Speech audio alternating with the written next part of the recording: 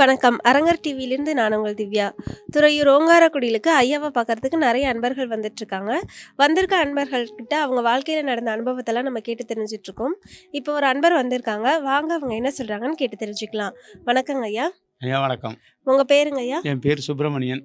நீங்கள் எந்த ஊர்லேருந்து வரீங்க ஐயா? முருகா அம்மாபாளையத்துலேருந்து வரேன். நீங்கள் எத்தனை வருஷமாக இங்கே வந்துட்டு இருக்கீங்க நாங்கள் கிட்டத்தட்ட ஒரு இருபத்தேழு வருஷமாக வந்துக்கிட்டு இருக்கிறேன் சரிங்க ஐயா கிட்டத்தட்ட நம்ம சின்ன குடிசையாக போட்டு அமர்ந்திருந்தாரே. அந்த நேரத்துலேருந்தே வந்துக்கிட்டு இருக்கேன். சரிங்க. ஐயா வந்து எப்போ நான் எனக்கு டைம் கிடைக்கிறப்ப மாதத்தில் ஒரு ரெண்டு தடவை எப்போ வந்து வந்து பார்ப்பேன். ம். ஐயாக்கிட்ட வந்து பார்த்துட்டு போ போய் எனக்கு ஒரு மன திருப்தி.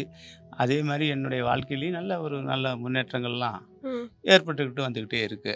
ஐயா அது ஐயாவினுடைய ஆசி தான் நான் வந்து கிட்டத்தட்ட அதுக்கு பிறகு ஐயா பார்க்க வந்ததுக்கு பிறகு தான் மறுபடி திருமணம் ஆச்சு எனக்கு. திருமணம் ஆனதுக்கு பிறகு எனக்கு இப்போ மூன்று பிள்ளைகள்.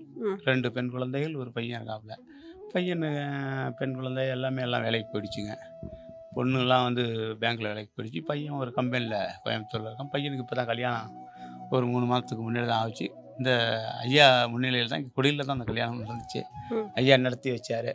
எல்லாம் நல்ல முறையில் குடும்பத்தில் எல்லாருமே ஐயாவுடைய ஆசினால் நல்லா இருக்கிறோம் நான் இதுக்கு முன்னாடி பார்த்தீங்கன்னா நான் வெளியில் கிட்டத்தட்ட கல்யாணத்துக்கு முன்னாடி வெளிநாட்டில் இருந்தேன். சரிங்க. சவுதி அரேபியாவில் இருந்த சீசனில் அப்போல்லாம் நான் எல்லாம் நிறைய மட்டன் மாமிசம் கோழி அது இதுனா அவங்களுடைய உணவு கட்டுப்பாடு அத்தனையும் சாப்பிட்டுட்டு வந்துட்டு இருந்தேன். இங்கே வந்து ஐயா கிட்ட வந்ததுக்கு பிறகு அப்புறம் மறுபடியும் ஒரு ஆறு மாதம் ஒரு வருஷத்துலேயே ஐயாவை பார்த்துட்டு ஐயாவினுடைய இதனுடைய பண்ண ஐயா சொன்னபடியே அப்புறம் எல்லாத்தையுமே விட்டுட்டேன். விட்டுட்டு இருக்கிறேன். இன்றைக்கி நல்ல முறையில் நான் இருக்கிறேன். நல்ல முறையில் எனக்கு முருகன் புண்ணியத்தில் எல்லாமே நல்ல முறையில் நடந்துக்கிட்டு வருது போகுது வருது. நீங்க இங்க குடிலுக்கு இருபத்தி ஏழு வருஷமா வந்துட்டு இருக்கேன்னு சொல்றீங்க. ஐயாவை வந்து முருகப்பெருமானோட கல்கி அவதாரம்னு சொல்றாங்க. நீங்க அதை எப்படி பாக்குறீங்க ஐயா? இல்லை கல்கி அவதாரம்னு சொல்லி சொன்னாலும் நம்ம அதை ஏற்றுக்கலாம் ஏன்னா அந்த அளவுக்கு அவரை பார்த்ததுலேருந்து எனக்கு ஓரளவு நல்ல முறையில் ஆகிட்டு இருக்குது அதில் எந்த விதமான மாற்றமும் இல்லை. சரிங்க ஐயா. இப்போ நீங்க வேற ஆன்மீக ஸ்தலத்துக்குலாம் போயிருப்பீங்க. அங்க இருக்கிறதுக்கும் இங்க ஓங்காரக்குடிலுக்கும் நீங்க என்ன வித்தியாசம் பார்க்குறீங்க? ஆன்மீக ஸ்தலத்துக்கெல்லாம் நான் பெரும்பாலும் எல்லா இடத்துக்கும் அங்கங்கே போயிருக்க வந்திருக்கேன். ஆனால் எனக்கு ஐயா சொல்கிற மாதிரி எனக்கு வந்து அந்த முருகன் தான் முதல் கும்பிட்ற ஒரு தெய்வம். முருகன் கோயிலுக்கு தான் அங்கே எங்கள் ஊர் பக்கத்தில் உள்ள செட்டிக்குளத்துக்கு முருகன் கோயிலுக்கு போவேன் அங்கே போவேன் இங்கே போவேன். மற்றபடி இப்போ அதிகம் ஆன்மீக ஸ்தலங்களுக்கு பெரிய பெரிய கோயில்களுக்கெல்லாம் அதிகம் இப்போ போகிறதில்ல ஐயா கிட்ட வந்ததுலேருந்து இங்கே வந்து துறையூரில் வந்து ஐயாவை பார்த்தாலே எனக்கு மற்ற சாமிகளை எல்லாத்தையும் பார்த்த ஒரு திருப்தி. சரிங்க. அதனால் அப்படி. நீங்க அன்னதானம் அருட்கஞ்சி ஏதாவது உங்க ஊர்ல வழங்கிட்டு இருக்கீங்க அன்னதானம் அப்படின்னு நான் என்னுடைய ஊர்லேயே வீட்லேயே இந்த வியாழக்கிழமை அன்னைக்கு ஒரு அஞ்சு ஆறு பேருக்கு பொட்டலாம் சாப்பாடு போட்டு அங்கே உள்ள ஆளுங்களுக்கு இந்த கோயிலில் நிற்கிற இலைகளுக்கு அவங்களுக்கு சாப்பாடு கேட்குறவங்களுக்கு அந்த மாதிரி அது தொடர்ந்து எல்லா வியாழக்கிழமையும் என்னுடைய மனைவி அந்த பொட்டலம் ஒன்று அஞ்சு அஞ்சு பொட்டலம் ஆறு பொட்டலம் போட்டாங்க. ஐயா சொன்னார் ஒன்றால் முடிஞ்சது ஒரு ஆளுக்காவது நீ செய். அப்படின்னு ஐயா சொன்ன அந்த ஒரு கருத்துக்கு என்னால் முடிஞ்ச அளவுக்கு நான் வாரத்துக்கு ஒரு அஞ்சு பேர் ஆறு பேருக்கு கொடுத்துக்கிட்டு தான் இருக்கேன். நீங்கள் கண்டினியூவாக எந்த வாரமும் நிறுத்துகிற வேலையே கிடையாது.